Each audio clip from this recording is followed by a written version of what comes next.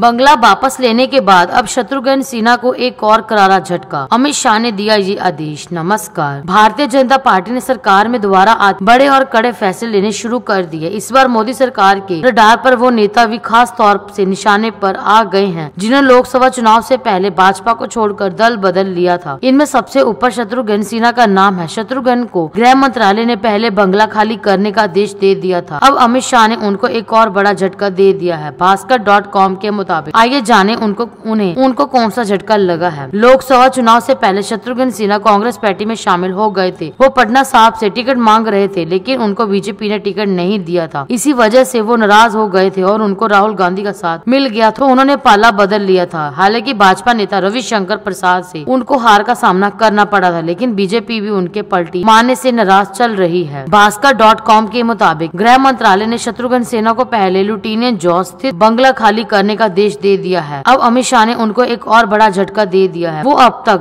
Z श्रेणी की सुरक्षा में चलते थे लेकिन गृह मंत्री ने अखिलेश यादव समेत कई नेताओं की सुरक्षा वापस लेने के लिए आदेश दे दिया है इनमें शत्रुघ्न सेना का नाम भी शामिल है अब उनको जेड श्रेणी की सुरक्षा नहीं मिलेगी गृह मंत्रालय ने ये सुरक्षा उनसे भी वापस ले ली है दोस्तों अमित शाह ने ये कदम सही उठाया या नहीं कमेंट करके बताए लाइक और शेयर जरूर कीजिए और आगे भी ऐसी खबरें देखने के लिए हमारे चैनल को सब्सक्राइब करना ना भूले क्यूँकी हम हर रोज ऐसी खबरें आपके लिए लाते रहते हैं धन्यवाद